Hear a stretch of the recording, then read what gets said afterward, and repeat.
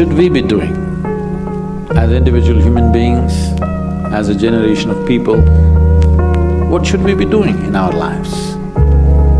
What I would say is, as a young man, I want to open your eyes and look at the world. Right now, please see Yeah. Enlightened by the dark, they try to rewrite the history. They try to tell us we ain't capable physically.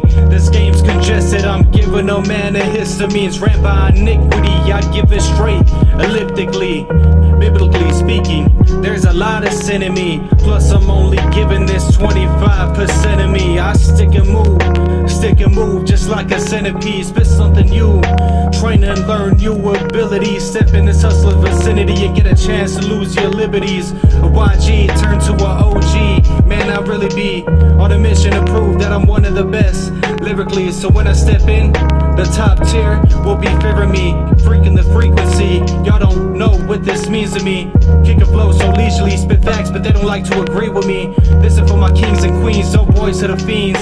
I got my own catacomb filled with deceased MCs. I'm Rocky Balboa. Y'all are looking like Rocky Dennis. Y'all are preps, only court you've been in was for tennis. Probably punctual, but in the streets, you got a poor attendance.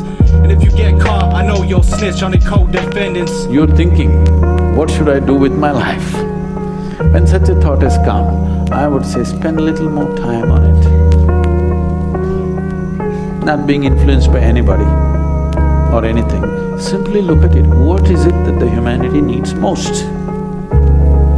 What is it that the world needs most today? Most of us independent artists stay on the grind. The other half don't seem to give it the undivided time. I can see that they got a undecisive mind, thinking that all it takes is just a couple rhymes.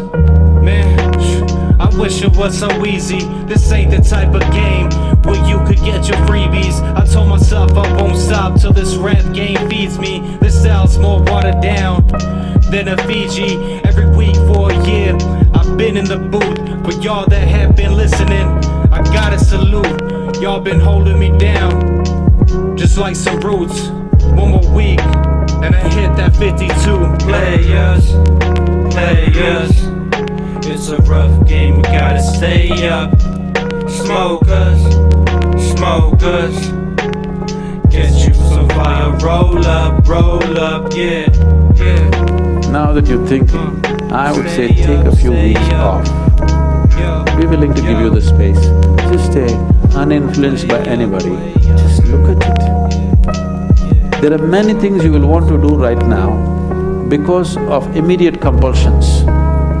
You're broke right now, you think the first thing is to find a job. Or some other compulsion within you, you think the first thing is to do this. Beside your compulsions, suppose you had none of these compulsions, what would you like to do with life? That's what you should do. You should not decide your life and the course of your life based on immediate compulsions. You decide in your life, if you do this for hundred years and look back, after hundred years if you look back, is it still worthwhile? You do that. There are many others who would like to be you,